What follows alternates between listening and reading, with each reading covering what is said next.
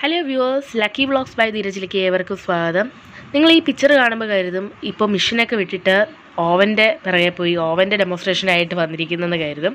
പക്ഷെ തെറ്റാണ് കേട്ടോ ഞാൻ ഈ ഒരു ഓവൻ പർച്ചേസ് ചെയ്തായിരുന്നു. അപ്പോൾ അതിന്റെ ഒരു അൺബോക്സിങ് വീഡിയോ പ്ലസ് ഇതിന്റെ ഫങ്ഷൻസും കാര്യങ്ങളും ഇൻക്ലൂഡ് ചെയ്തിട്ടുള്ളൊരു വീഡിയോ ആയിട്ടാണ് വന്നിരിക്കുന്നത്. അപ്പോൾ നമുക്ക് നേരെ വീഡിയോയിലേക്ക് പോയാലോ?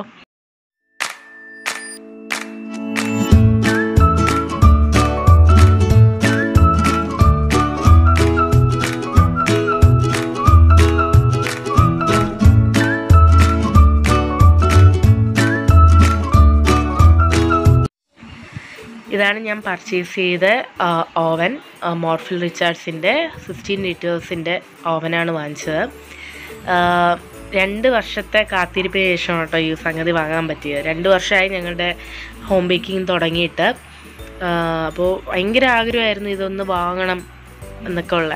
അപ്പോൾ ഹസ്ബൻഡ് ഗിഫ്റ്റാണ് കേട്ടോ. അതാണ് എടുത്ത് പറയേണ്ടത്.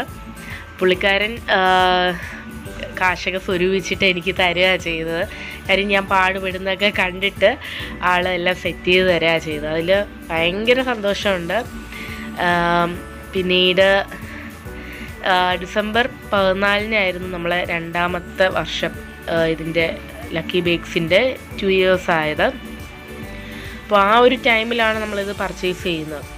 അപ്പോൾ ഇത് ടു ഇയേഴ്സ് വാറന്റി വരുന്ന ഒരു ഓവനാണ് ഒ ടി ജി പിന്നീട് ഞാൻ ഇതിൽ ഇപ്പം നിങ്ങൾ വിചാരിക്കും ഓവൻ ഇല്ലാതെയാണോ ഈ രണ്ട് വർഷം ഈ കുട്ടി ബേക്ക് ചെയ്തുകൊണ്ടിരുന്നതെന്ന് കരുതും. പക്ഷേ ഞാൻ ഓവൻ സെറ്റപ്പ് മുഖേന ഓവൻ സെറ്റപ്പ് എന്ന് പറയുമ്പോൾ നമ്മൾ ഒരു പാത്രത്തിൽ കേക്ക് ബേക്ക് ചെയ്യുകയാണ് ചെയ്തുകൊണ്ടിരുന്നത് അപ്പോൾ കുറേ തവണ അങ്ങനെ നമ്മൾ ചെയ്യുമ്പോൾ വീട്ടുകാർക്കും ബുദ്ധിമുട്ട് എനിക്കും ബുദ്ധിമുട്ട്.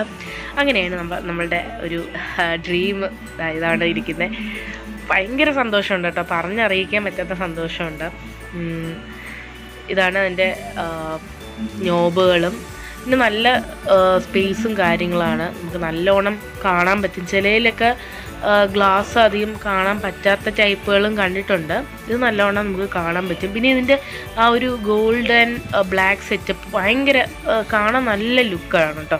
ഈ അറുപത് ലിറ്ററിന്റെ ഞാൻ ഓൺലൈനിൽ വേറെ നോക്കിയത്. സിൽവർ സിൽവർ കോട്ടിങ്ങിന്റെ ഒരു സംഗതിയായിരുന്നു.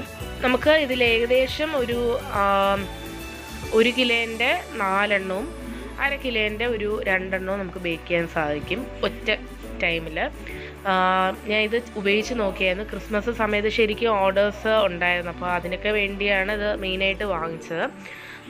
ഈസി ആയിട്ട് തോന്നിയായിരുന്നു. ഇതിന്റെ അകത്ത് നമുക്ക് ഗ്രില്ല് ബേക്ക് റോസ്റ്റ് അങ്ങനത്തെ എല്ലാ കാര്യങ്ങളും ചെയ്യാം. അതിന്റെ തന്നെ മെൻഷൻ ചെയ്തിട്ടുണ്ട്. നമ്മൾ അതിൽ കറക്റ്റായിട്ട് സെറ്റ് ചെയ്ത് കൊടുത്താൽ മാത്രം മതിയാവും. നമുക്കിനി അതിന്റെ ഫങ്ഷൻ നോക്കാം. ഇപ്പോൾ ഒരു പത്ത് മിനിറ്റ് വൺ എയ്റ്റി ഡിഗ്രിയിൽ പ്രീ ഹീറ്റ് ചെയ്യാൻ വെച്ചിരിക്കുന്ന ഓവനിൽ ഞാൻ ഒന്നര കിലോന്റെ കേക്കാണ് വെച്ചിരിക്കുന്നത്. ആ ഒന്നര കിലോ കേക്ക് വെച്ചതിന് ശേഷം മുപ്പത്തിയഞ്ച് മിനിറ്റ് ടൈമർ സെറ്റ് ചെയ്തിട്ടുണ്ട്. അതിൽ ബേക്കിന്റെ നോബാണ്. നമ്മൾ ആ രണ്ടാമത്തെ നോബ് നടുക്കത്തെ നോബ് ബേക്കാണ് വെച്ച് കൊടുക്കുന്നത്. നമുക്ക് ഏതാണ് വേണ്ടത് അത് വെച്ച് കൊടുക്കുക. ടെമ്പറേച്ചർ വൺ എയ്റ്റി ഡിഗ്രിയാണ് സെറ്റ് ചെയ്തിരിക്കുന്നത്. അപ്പോൾ ഇതിലാണ് നമ്മുടെ നോർമൽ ഒരു കേക്ക് ബേക്ക് ചെയ്യാനുള്ളത്.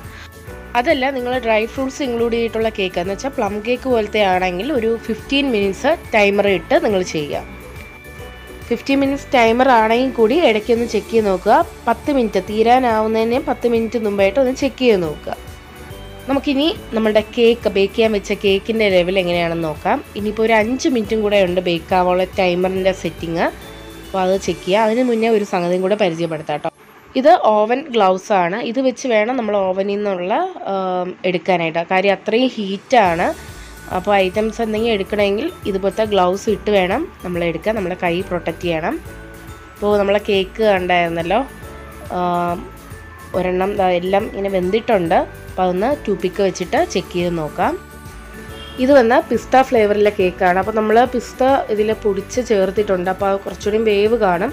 കണ്ടോ? ഇത് ഒട്ടൽ വന്നിരിക്കുന്ന കണ്ടോ? ഹാഫ് കെ ജി വെന്തിറക്കിയിട്ടുണ്ട്. അപ്പോൾ ടൈമർ ഓഫായി വീണ്ടും നമ്മൾ ടൈമർ സെറ്റ് ചെയ്ത് കൊടുക്കുകയാണ്. ഒരു പത്ത് മിനിറ്റും കൂടെ.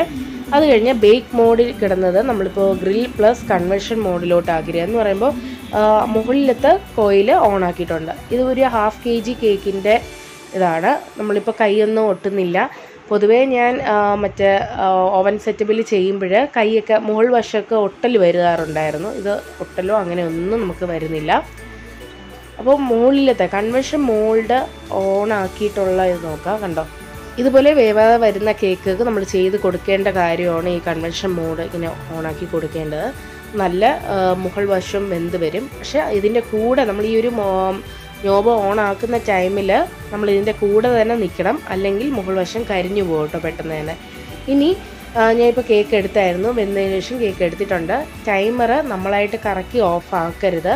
അത് നമ്മുടെ ഓവന് കേടാണ്. ബാക്കിയുള്ളതൊക്കെ നമുക്ക് ഓഫ് ചെയ്യാം. ടെമ്പറേച്ചർ ഓഫാക്കാം മറ്റേ നോബും ഓഫാക്കാം ഇനി നമ്മൾ മെയിൻ സ്വിച്ച് ഓഫ് ചെയ്താൽ കൂടി ഇത് ഒന്നും ചെയ്യരുത്. അത് ഓട്ടോമാറ്റിക്കലി കറങ്ങി വേണം ഓഫ് ആവാനായിട്ട്. എല്ലാവർക്കും ഈ വീഡിയോ ഇഷ്ടപ്പെട്ടെന്ന് വിശ്വസിക്കുന്നു. എനിക്കറിയുന്ന ഈ ഓവനെ പറ്റി എനിക്കറിയുന്ന എല്ലാ അറിവുകളും ഞാൻ ഈ ഒരു വീഡിയോയിലൂടെ ഷെയർ ചെയ്തിട്ടുണ്ട്. അപ്പോൾ എല്ലാവർക്കും ഇഷ്ടപ്പെട്ടിട്ടുണ്ടെങ്കിൽ പ്ലീസ് ഒന്ന് ലൈക്ക് ചെയ്യുക ഷെയർ ചെയ്യുക സബ്സ്ക്രൈബ് ചെയ്യുക. Thank for watching